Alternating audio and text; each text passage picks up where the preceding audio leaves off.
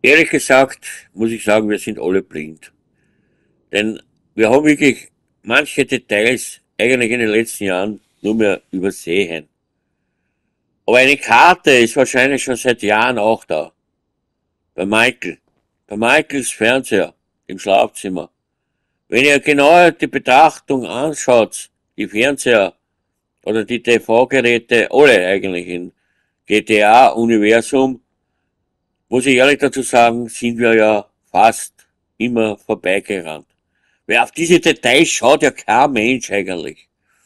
Ja, ehrlich gesagt. Auf die Details, dass in einem Fernseher Umrisse vielleicht von einer Landkarte versteckt sein könnte. Auf den Gedanken ist ja eigentlich in den letzten Jahren von GTA kein Mensch gekommen. Aber seit Jahren habe ich eigentlich darüber kein Video gemacht, aber jetzt hat mich einer in der Community gebeten, ich soll es wieder einmal probieren. Aber wenn er euch ein bisschen blöd hinstellt und so mit den Lichteffekte spielt, seht ihr eigentlich Umrisse. Umrisse in die Fernseher von einer Umrisse von einer Karte.